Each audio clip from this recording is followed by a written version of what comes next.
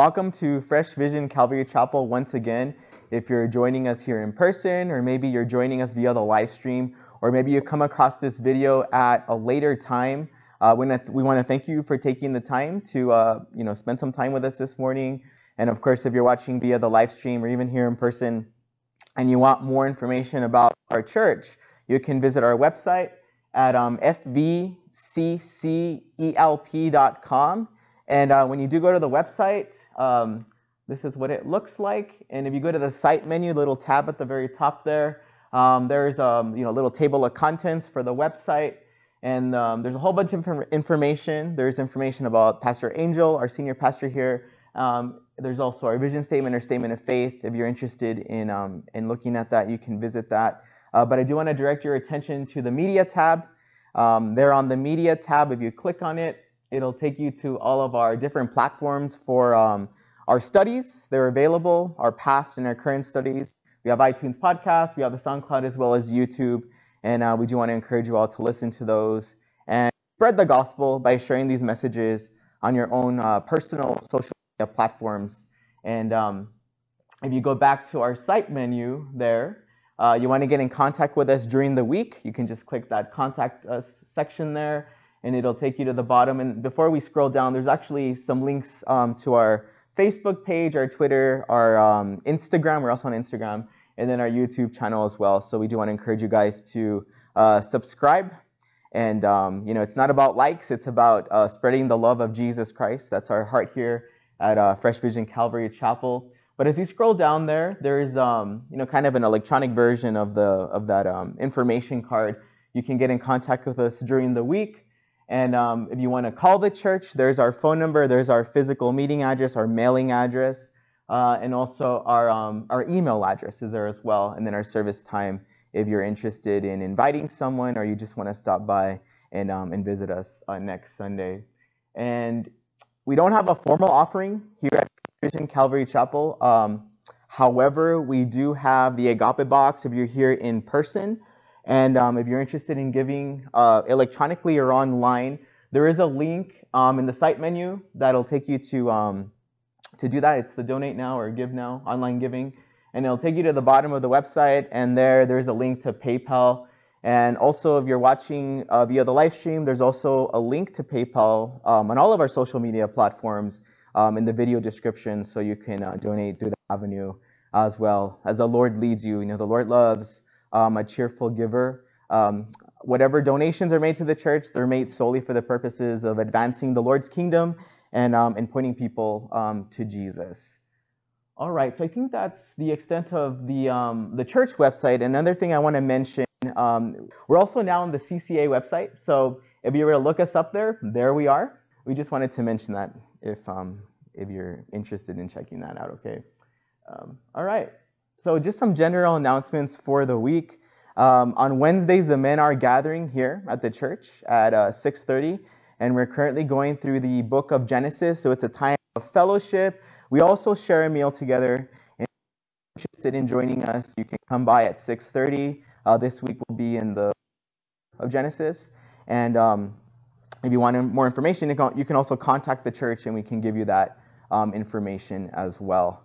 And um, we also have youth ministry, um, Unashamed Youth Ministry. We meet right after announcements in the back there, and we're currently going through um, the Gospel of Luke. And um, we're also going to have a movie night. Um, we were planning it for this Friday, but we're going to push it back a week. Um, I have an engagement happening, so I'm not getting engaged, but I have an engagement happening. Um, so, so there's there's something happening. Yeah, I, I can't be here. So, um, so so we, we we can do that. So we'll we'll give you more information that available, and then we're also planning a Western Playland Day. Okay, so that'll be um, something that we can do. If you're interested, you're um, a young person, you want to get connected at the church, um, check us out here right after the announcements, or contact the church, and we can get you that um, information have children's ministry. They meet right after the announcements as well. If you have young children, it's keeping you from coming to church. Don't let that be a hindrance. Uh, bring everybody with you. Uh, we will have a place for everyone here at um, Fresh Vision uh, Calvary Chapel. All right. pass this to Pastor Angel. Well, thank you again for joining us. And Uh, thank you. If you were here last week to hear uh, Isaac's uh, message that he gave, I hope you were blessed by it. And if you hadn't heard it, I totally recommend that you go to our media page uh, on our website and you will find his his teaching there. Also, you'll find it on YouTube um, on our on our YouTube page there. But, uh, but yeah, definitely check that out. You know, he's he's, uh, he's a great teacher as well. If you're joining us online or if you're here, we're going to be in 2 Samuel chapter 16. We're going to finish that chapter and then move on to chapter 17. Now, I read something interesting here, and I want to share. I wanted to share it with you. And I don't know how old this story is, but uh, it has to do with today's message. If you travel to Greensburg, Kansas, you can pay a visit to what is called the world's largest hand dug well. Construction on the well began in the 18, 1880s. As the railroads made their way across Kansas, a reliable source of water for the, stream en- for the steam engines was essential. The work was done by teams of men using hand tools, shovels, picks, half barrels, pulleys, and ropes. And rope. As they made their way downward, they lined the well shaft with limestone rock. The finished well is more than 100 feet deep and more than 30 feet in diameter.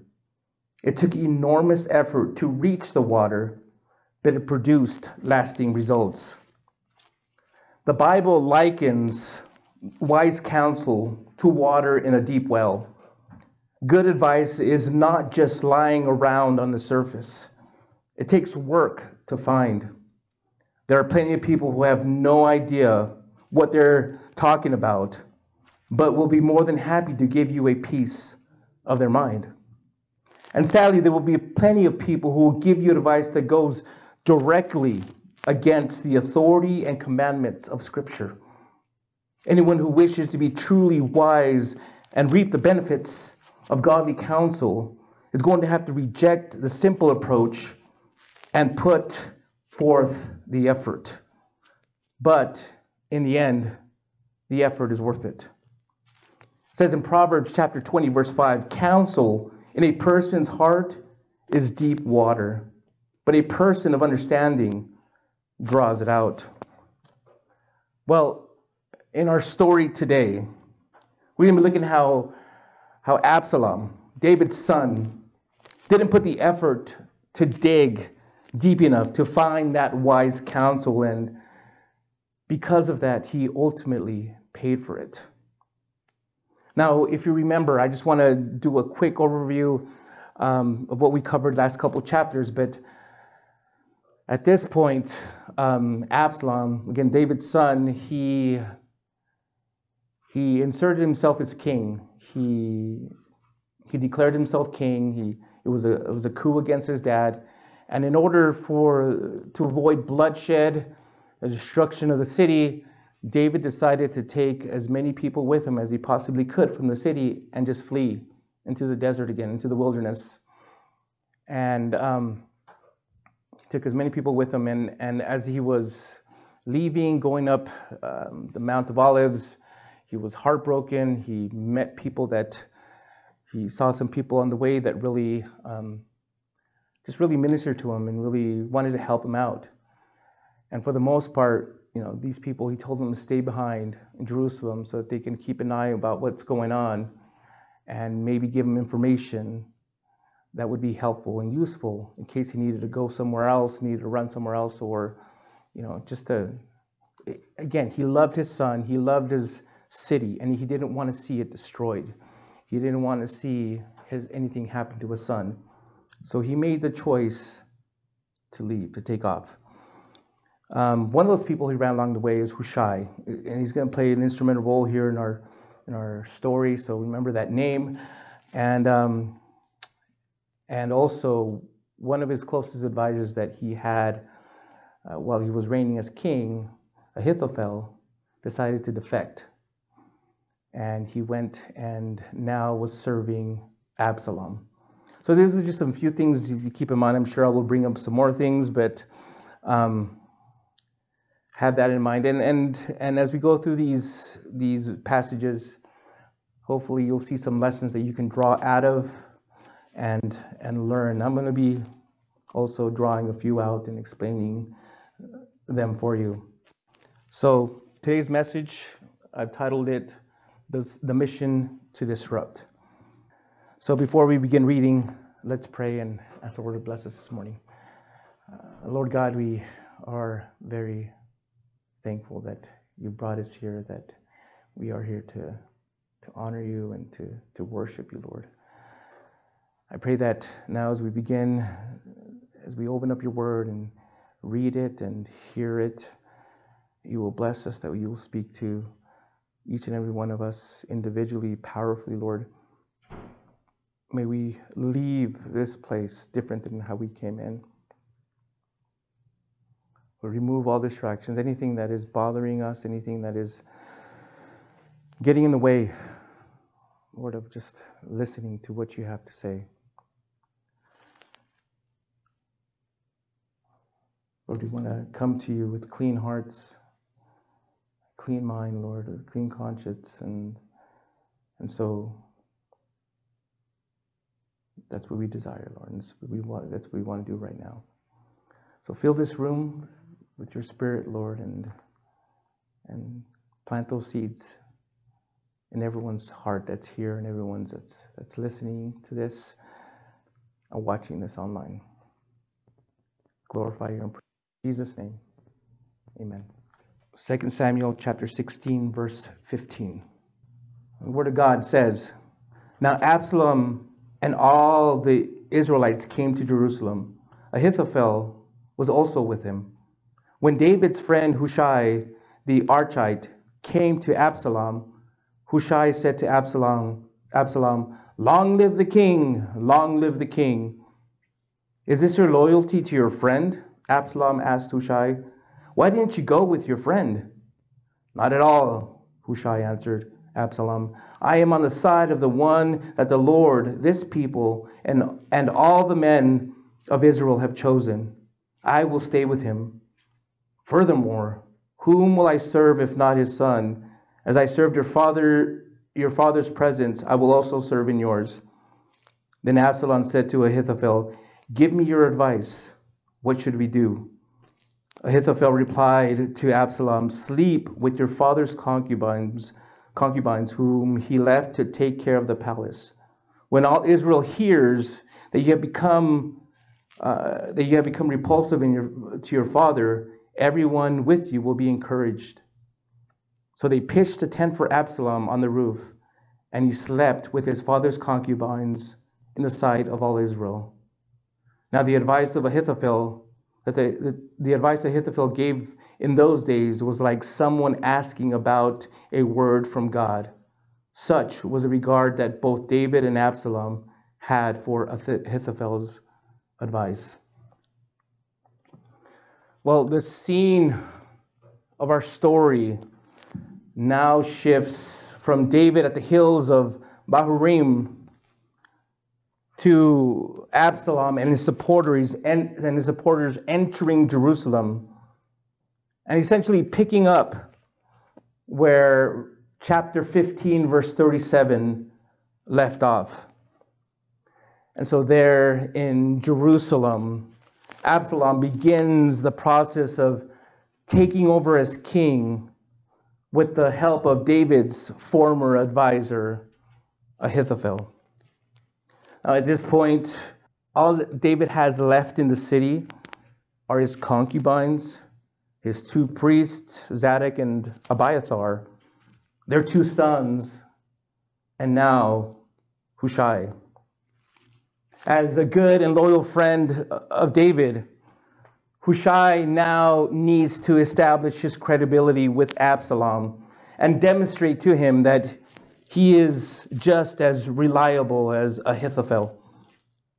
He needed to do this. He was tasked to do this by David to keep an eye on Absalom and he needed to do this in order to ensure that he was passing along accurate information to David. So he had to do whatever was necessary, say whatever was necessary to get into that inner circle of Absalom. So, upon their initial encounter, Hushai flattered him with some pretty ambiguous statements, if you really look at them. He said, Long live the king. And he said that twice. But here's the thing he doesn't mention a name. So, as Absalom and his men think that he's talking about Absalom, in reality, he's actually speaking and thinking of David, the real king. Like many others in this entire story that we've covered so far, Hushai has also mastered the art of deception and double talk. Absalom then tests Hushai by reprimanding him for betraying David. Is this your loyalty to your friend? He said. Why didn't you go with your friend? Again, Hushai gives him an ambiguous response and tells him that he's on the side of the, of the one that the Lord and everyone in Israel has chosen. Here, too, he doesn't mention a name. But again, he's saying this with David in mind. But because of his vanity, because of his pride, because he was on top of his world, because he was surrounding himself with people who just were yes men and were, you know, just giving him praises, Absalom assumes that, of course, that he's speaking of him. And finally, in verse 19, Hushai's words more openly speak of service to the Son instead of the Father.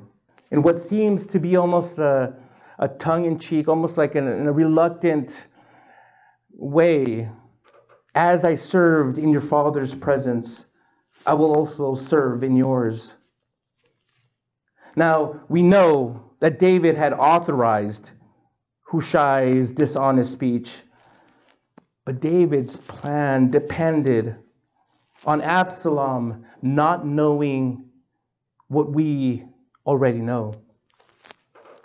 Well, we later discover that this was enough for Absalom to accept him as another counselor into his inner circle.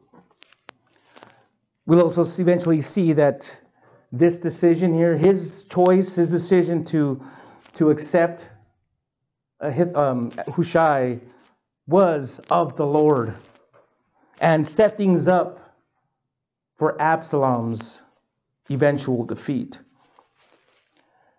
Now, I wanted to mention this before I move on, but the reason why Hushai had David in mind when he made these ambiguous statements because the Lord had chosen David to be king. The people had chosen David to be king. And so, yes, although he was going to be serving Absalom, he was on the side of the true king, David. Now, Absalom had two important tasks to perform before he can rule the kingdom. The first was that he seize his father's throne. And secondly, let it be known that he was officially the king. But unlike his father David, who sought the mind of the Lord through the Urim and Thummim, or from a prophet, Absalom looked to human experience and wisdom and from a human point of view.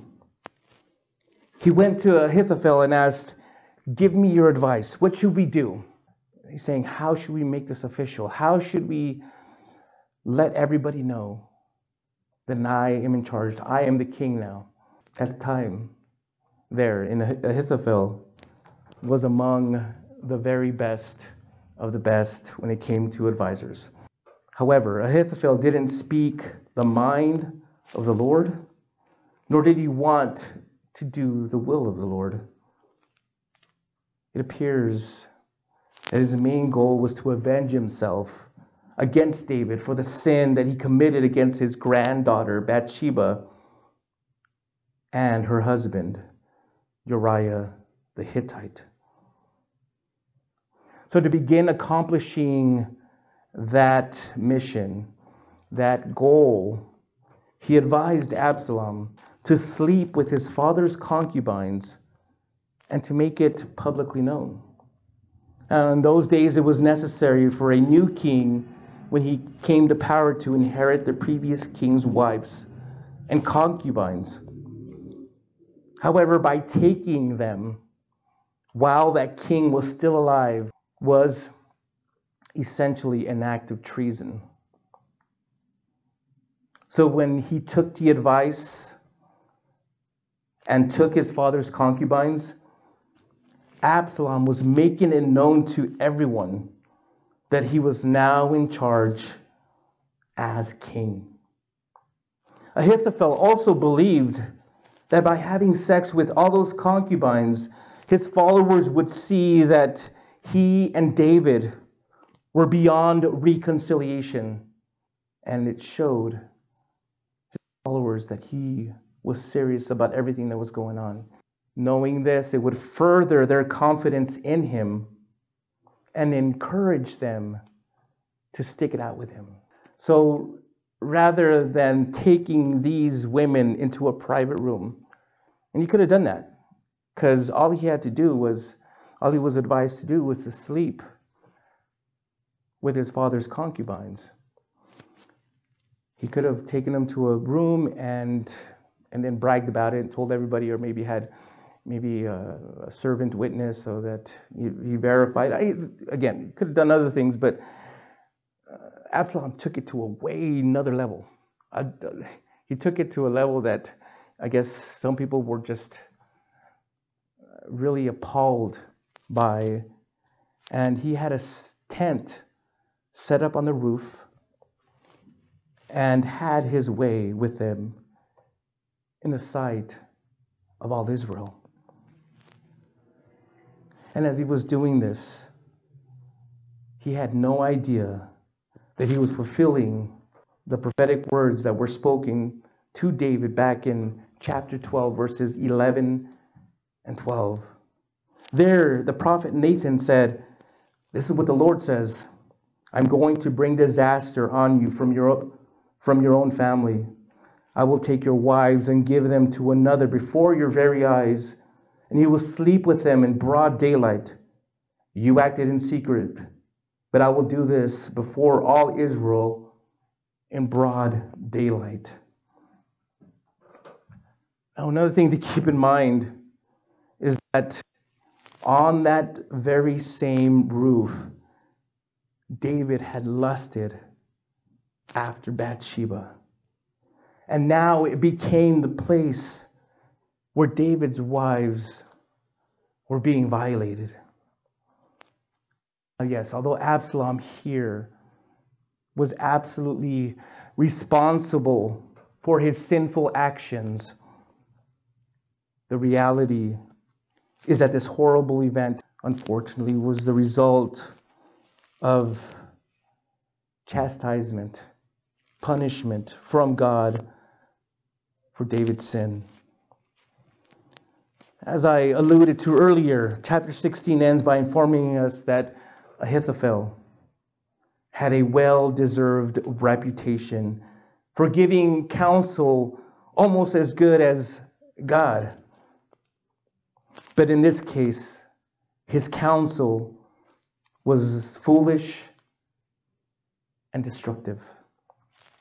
It was foolish and destructive because it was motivated by bitterness. See, church, bitterness has the power to turn our best qualities sour. A Christian author wrote this. I quote Hebrews chapter 12, verse 15 likens bitterness to a root. roots have to be planted. So what's so what's the seed that sprouts into a root of bitterness when planted? It's a hurt. When someone hurts you, it's as if a seed has been dropped into the soil of your heart. You can choose to respond in two ways. You can either reach down and pluck up the seed by forgiving your offender, or you can begin to cultivate the seed by reviewing the hurt over and over again in your mind. Bitterness is a result of dwelling too long on a hurt. It's the result of not truly forgiving the offender. Ahithophel's advice was also foolish and destructive because God had already answered David's prayer from verse uh, from chapter 15 verse 31 by prompting Ahithophel to give his foolish counsel and in prompting Absalom to take foolish counsel. So, as you can see, as you can tell, yes, Ahithophel was liked and respected. It was, again, when it came to top the top tier of or the tier of advisors, he was right there at the very peak. So this meant that Hushai, Hushai's mission to disrupt, to counteract Ahithophel's advice, it wasn't going to be easy. It was going to be an uphill battle. And he definitely needed prayer for that.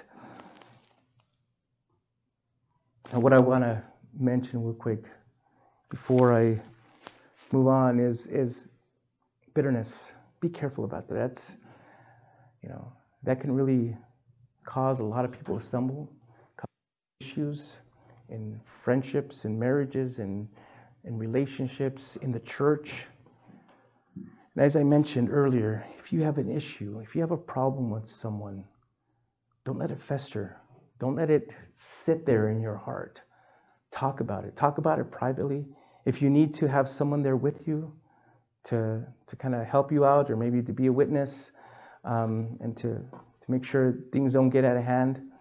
If you're a hothead or maybe he's a hothead or she's a hothead, you know, you can ensure that, you know, nothing's gonna nothing's gonna happen, but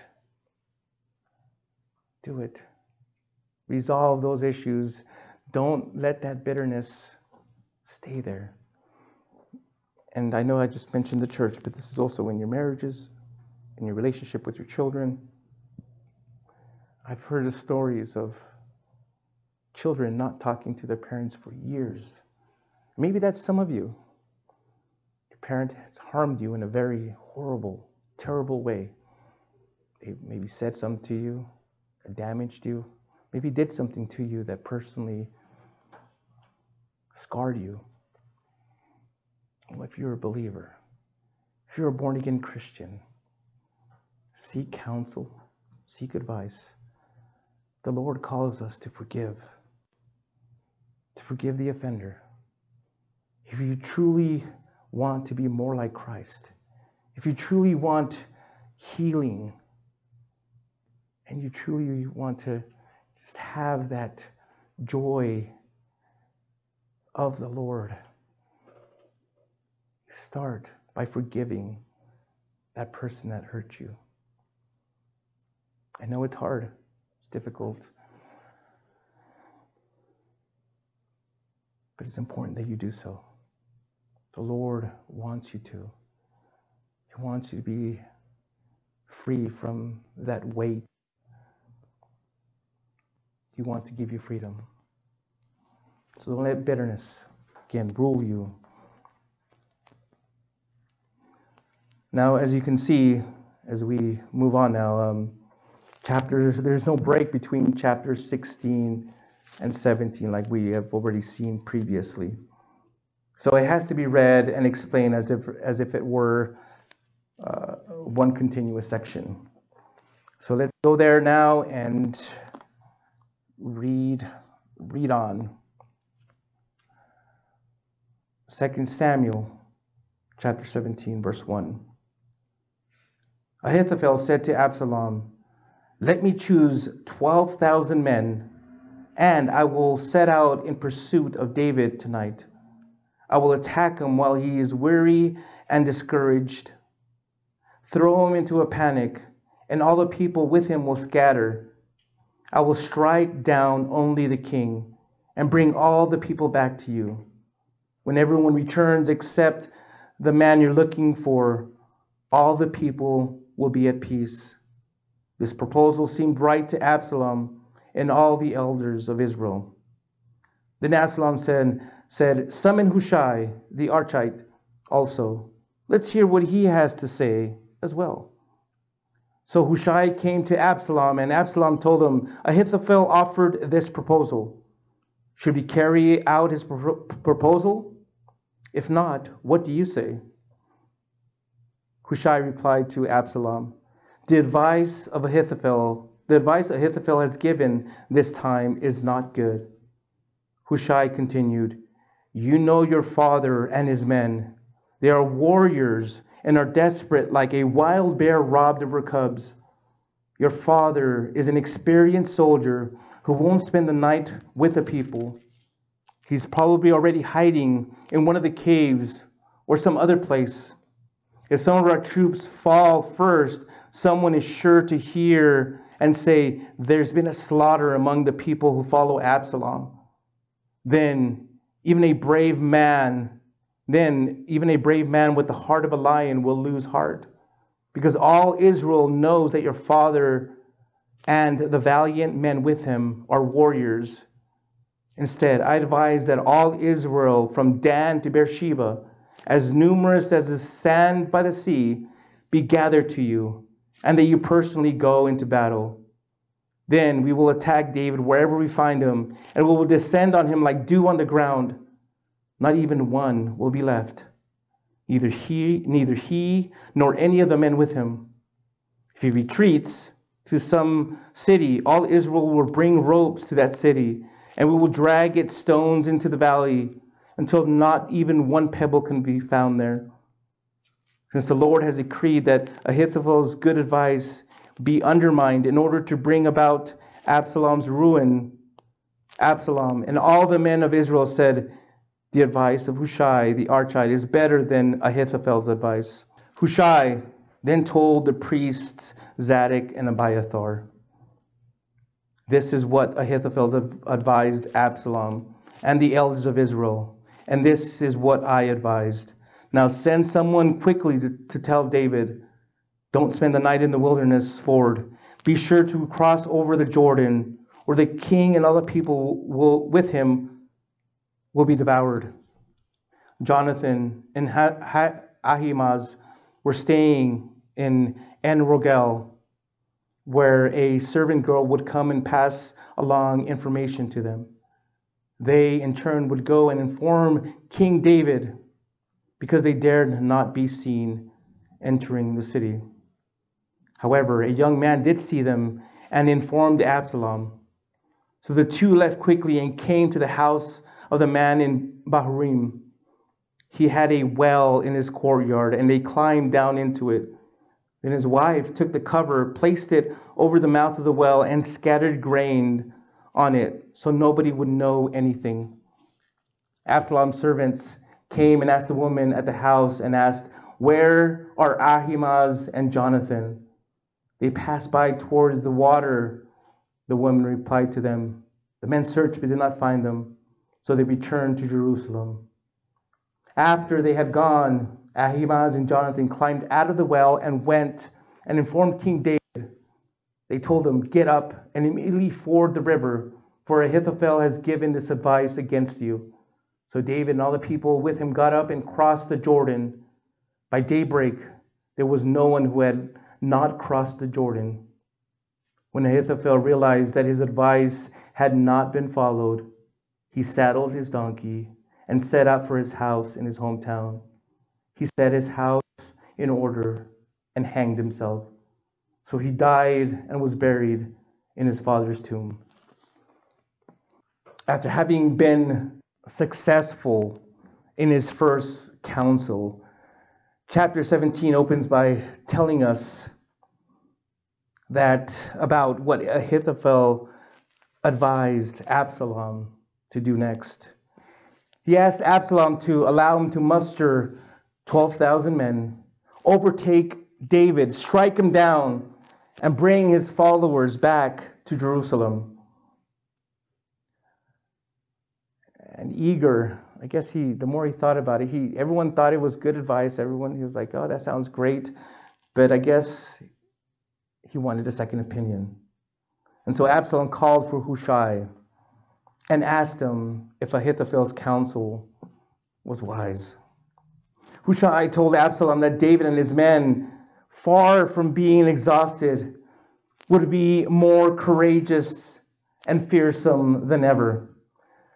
Like a wild bear robbed of her cubs, the king, Hushai said, would be enraged over the loss of his kingdom. So to move against him would be foolish. Initial casualties, which were inevitable, they were going to occur, would cause Absalom's men to lose heart, to be discouraged, and everything that he, Absalom, had gained up until this point would be lost. It would be better, Hushai continued, for Absalom to wait until he could amass a huge army and then attack David with an overwhelming force. And if anyone was found retreating or hiding in one of the nearby cities, that massive force would come and drag everyone like pebbles. Like he gave the analogy of, of ropes dragging away pebbles. He would uncover every single place that they would be hiding, and there would be nothing left there. Not a rock, not a pebble, not anything, and they would be exposed, and he would he would get them. Well, Absalom liked what he heard. Like, hey, this actually sounds like a better plan and decided, he made the choice to follow his Hushai's instruction and reject the advice of Ahithophel. Now, obviously, this was the, the Lord's doing to undermine Ahithophel's advice and to bring Absalom's ruin. And so, once all this was now set up,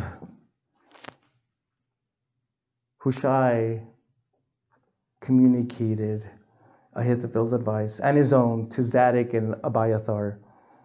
And they and then they sent their sons, Jonathan and uh, Ahimaaz, from En Rogel to David with a message that he must cross over the Jordan now, as quickly as possible. Don't hold back, don't have a picnic, don't chill out, don't have just you need to go now.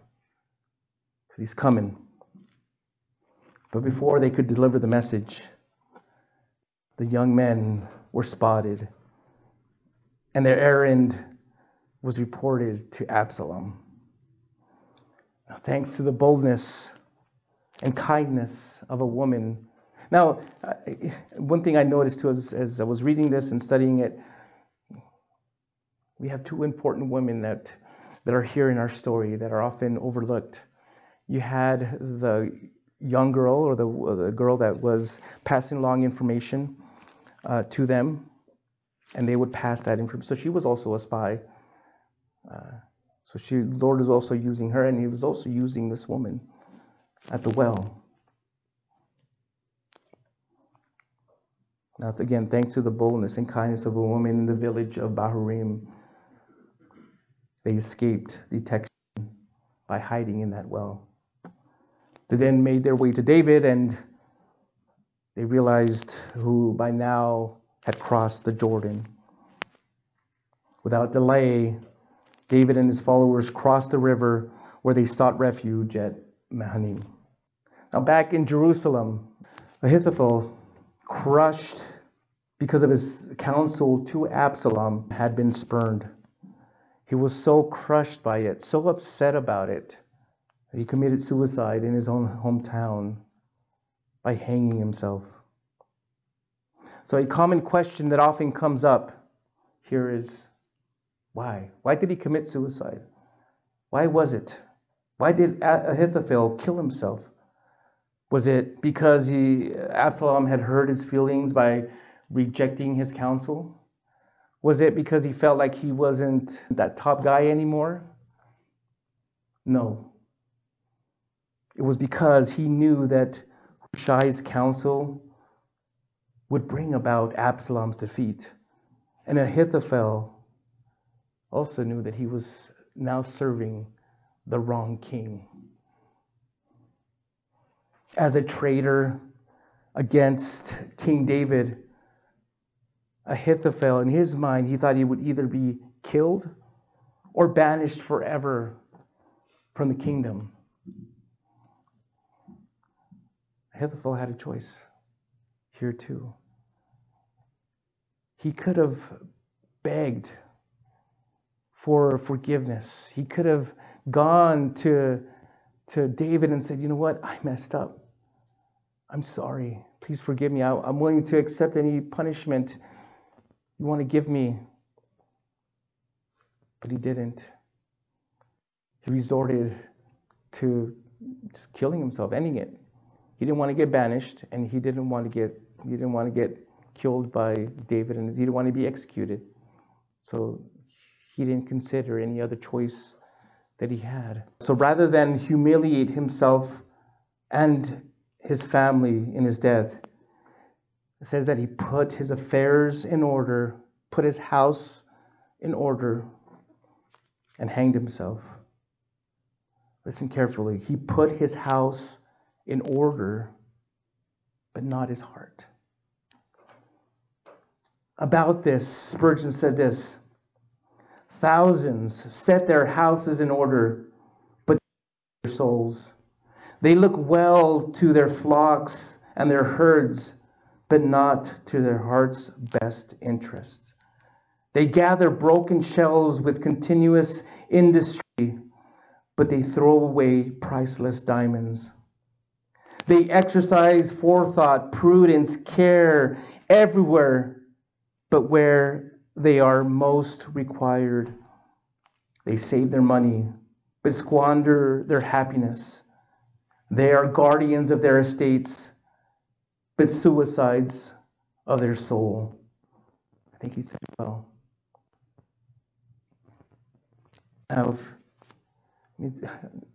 As someone who has battled with depression, I know it's difficult. Maybe you're really in a tough place and you feel like there's no other way, let me tell you, there is. There is another way. You can get freedom, you can get love and forgiveness and acceptance from our Lord and Savior Jesus Christ, who died for you, who loved you enough to, to die on the cross to forgive you of your sins.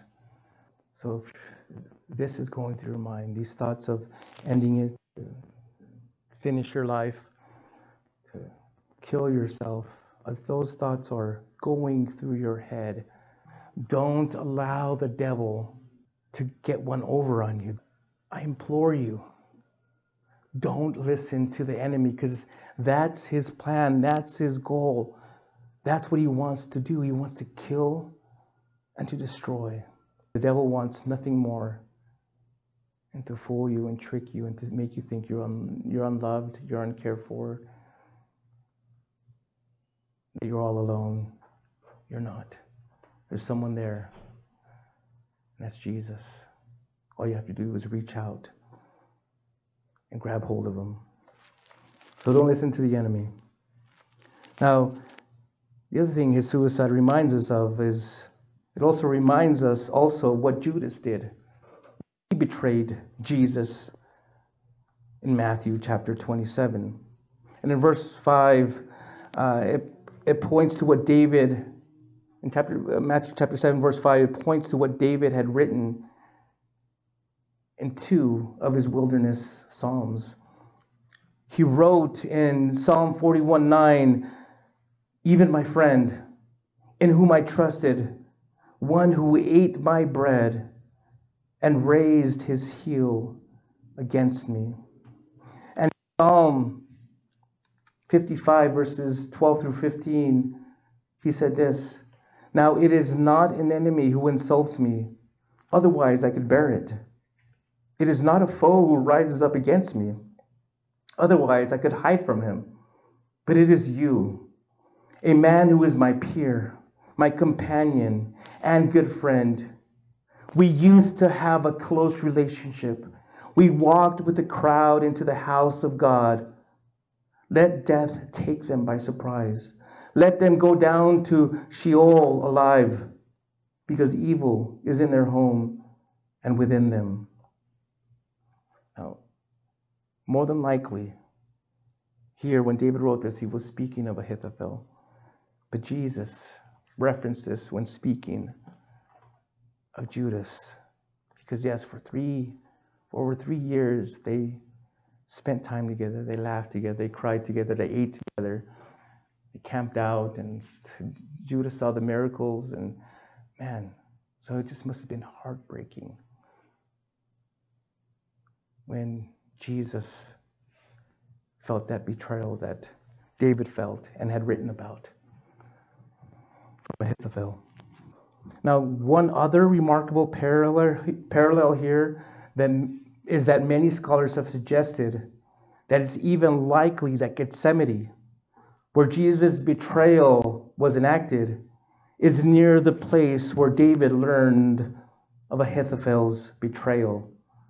Again, remember, he was walking up that hill of the Mount of Olives in that area when he realized, when he found out that Ahithophel had betrayed him. So, thus, the author of the first gospel, Matthew, may have put together his report of Judas with his eye on the account of David's traitor, just as he shaped his good news about Jesus as the promised Messiah from the line of David. All right. Well, we have a small little section left here in verse 17. So, again, turn to your Bibles and let's finish off verse 17, or chapter 17. 2 Samuel, chapter 17, verse 24. David had arrived at Mahanaim by the time Absalom crossed the Jordan with all the men of Israel. Now Absalom had approached Amasa over had, had appointed Amasa over the army in Joab's place. Amasa was the son of a man named Ithra, the Israelite. Ithra had married Abigail, daughter of Nahash. Abigail was sister to Zeruiah, Zeruiah, Joab's mother. And Israel and Absalom camped in the land of Gilead. When David came to Mahanaim, Shobi, son of Nahash from Rabbah of the Ammonites, Machir, son of Amiel from Lodabar, and Barzillai, the Gileadite from Rogelim, brought beds, basins, pottery items. They also brought wheat, barley, flour, roasted grains, beans, lentils, honey curds, sheep, goats, and cheese from the herd of David from David and the people with him to eat. They had reasoned the people must be hungry, exhausted, and thirsty in the wilderness. The final paragraph of chapter 17, we're told that Absalom pursued his father. He went after him. He went after him across the Jordan to Gilead, having appointed Amasa as commander of his forces. Now, according to 1 Chronicles chapter 2, verse 17, Amasa's father was an Ishmaelite by birth, but an Israelite by religion. The narrator also points out that he was David's nephew and a first cousin of Joab, Let me remind you, Joab was David's military commander. After this, we read that David was encamped in Mahanaim. As he was encamped there, three men came to him with necessary, non perishable provisions for him and his people. Those three men were Shobi, Machir, and Brazil, Brazil, Brazili. I'll give you just a little bit of background on each one of these men. Shobi was the son of Nahash, the deceased king of the Ammonites. Chapter said, chapter 10 said that his brother Hanun had rejected David's goodwill and suffered for it. But Shobi, although he was by birth an alien, cared more for Israel's king than most of the Jews did. In a very similar way, many Gentiles have received him who was rejected by his own. The next person mentioned was Machir.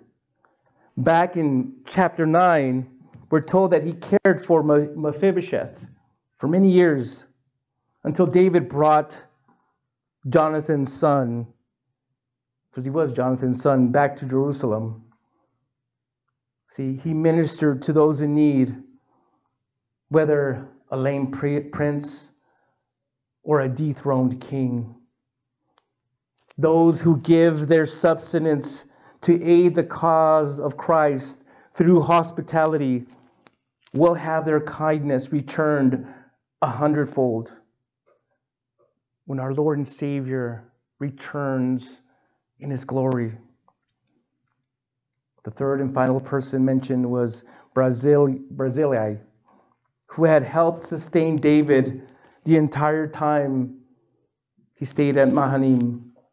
Now, when we get to chapter 19, we'll see that he was a very wealthy man, and his support meant a lot to the king. Later on, also, when David was on his deathbed. It says in 1 Kings chapter 2 that he told his son Solomon to elevate the sons of Brazili, Brazili to places in the royal court.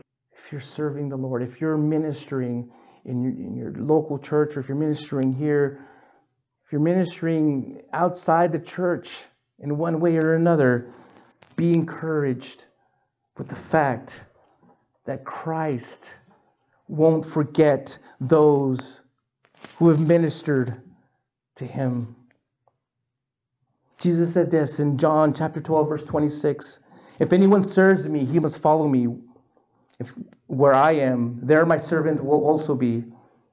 If anyone serves me, my Father will honor him. Now, as I begin to close, I want to share with you what we can learn from the two villains in our story Absalom and Ahithophel. Both of these men had been close to David earlier in their lives. Both chose to rebel against David and seek his overthrow. Neither man seems to be godly or to view circumstances from God's point of view. Neither seems disturbed by what they sought to kill, that that they both sought to kill God's anointed king.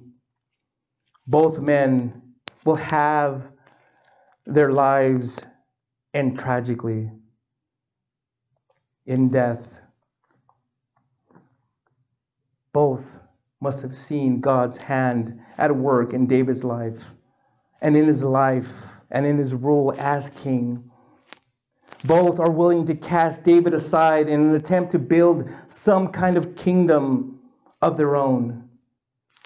Both men are like Satan and like Adam and Eve in what they are unwilling to play, and that they are unwilling to play a subordinate role. They seem to think that under David's rule, they are being prohibited from something better, which they can obtain by pursuing their own interests. These two men, Absalom and Ahithophel, failed to correctly answer the most important question any person will ever answer in their lifetime Who will I serve as king. Absalom and Ahithophel don't want David for their king. Both, in effect, want to be king of their own lives. But in rejecting David as their king, they are rejecting God's king. And thus they are rebelling against God Himself. Both of these men have great ability, have their, they're gifted. But in the end, their talents are of no eternal profit. This question has never really changed. It was a question before there was ever a human king over Israel, and has been the question ever since. Adam and Eve rejected God as their ultimate authority and sought to set themselves above him. The Israelites rejected God as their king and they demanded to have a king like all the other nations. Absalom and Ahithophel and the others who followed in the rebellion against David rejected God as their king. Friends, when our Lord and Savior Jesus Christ came to earth, he came as the one who would sit on the throne of his father, David. He came as God's anointed king. And yet, what did the crowd say? What were they saying? They were saying they had no king but Caesar. The Lord Jesus Christ came the first time to be rejected as Israel's king so that he might bear the guilt of our sin and provide the means for us to enter the kingdom. And this is where his mission to disrupt comes in. His mission to disrupt the devil's plan to kill and to destroy, to ruin humanity, to spoil it forever. And that's what he did when he came. Listen carefully. All who receive his gift of the forgiveness of sins and eternal life will reign with him for all of eternity. Fact is, the truth is, he's coming again. He's going to come back again powerfully and visibly. And he's going to come to defeat all his enemies and to establish his throne upon the earth in what we call the millennial kingdom. All those who have received him who have believed in him, who, had, who have placed their faith in him, will be, be part of this kingdom and they will be saved. All those who have rejected his gift of salvation have rejected him as king. When he comes again, all men will bow before him as God's king. But only those who have received him as Savior will enter the kingdom. So now, let me ask you now who is your king? This is the most important question you will ever answer. Is Caesar your king? Is the internet your king? Is money your king? Or is Jesus your king? If you realize now your need of a Savior, and I want to lead you to the cross. I want to lead you to, to, to, Jesus so that He may forgive you of all your sins. And so that that's where you're at. Pray this, close your eyes, and bow your head. And with all your heart, pray this Lord Jesus, I know that I'm a sinner, and I ask for your forgiveness. I believe you died in, for my sins and rose from the dead. And now turn from my sins and confess you as my personal Lord and Savior. Thank you for saving me. Now fill me with the Holy Spirit so that He help guide me in my new born again life. In your name. Amen. if you prayed that, reach out to us. We want to hear from you. We want to know your story. We want to you know, know how you came to hear this message, and we want to maybe lead you in your next steps of your Christian walk. Um, if you're here locally, we want to invite you to for church here and and and and see if this is where the Lord call, has called you to to be at. Thank you for watching this week. Thank you for spending your time with us. I hope that you have a great week. Um, be blessed, um, and uh, we'll see you next week. Love you. Bye.